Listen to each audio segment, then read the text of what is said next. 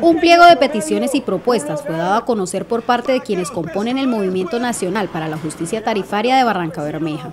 Si bien es cierto, el Gobierno Nacional ya eh, decretó algunas regulaciones en materia de tarifas que se van a empezar a implementar a partir del mes de noviembre, nosotros eh, estamos en este momento tratando de acordar un pliego con todas esas quejas, reclamos, solicitudes que han llevado los usuarios a lo que nosotros denominamos la carpa por la justicia tarifaria.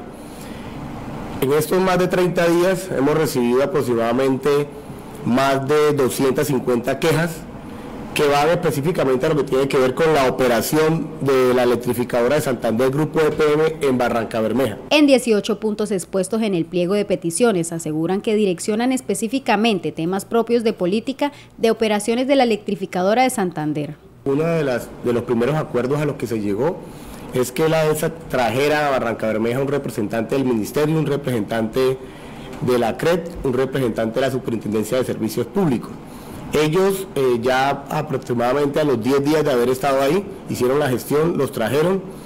También se ha, se ha generado la primera mesa técnica, lo que tiene que ver con el tema del alumbrado público. También eh, estuvimos ahí conversando con la administración y con algunos representantes de la empresa de alumbrado Yariguíes.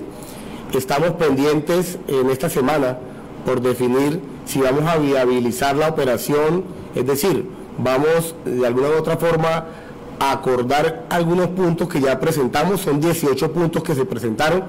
Frente a lo expuesto en comunicado de prensa de la ESA, asegura que desde la carpa no se interponen a ingresos por arreglos que deban realizarse para la ciudadanía. Hay que informar a la comunidad de Barranca Bermeja que en ningún momento se está impidiendo el acceso a lo que tiene que ver con daños de fuerza mayor.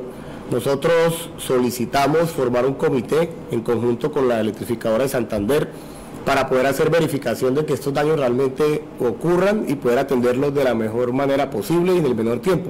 Sin embargo, eh, la electrificadora rechazó esta solicitud alegando que eso era una coadministración. Hasta el momento no hay respuesta a estas peticiones y propuestas por parte de la empresa de energía eléctrica y aseguran que mientras no se den acuerdos, la carpa permanecerá ubicada aún a las afueras de la ESA Barranca Bermeja.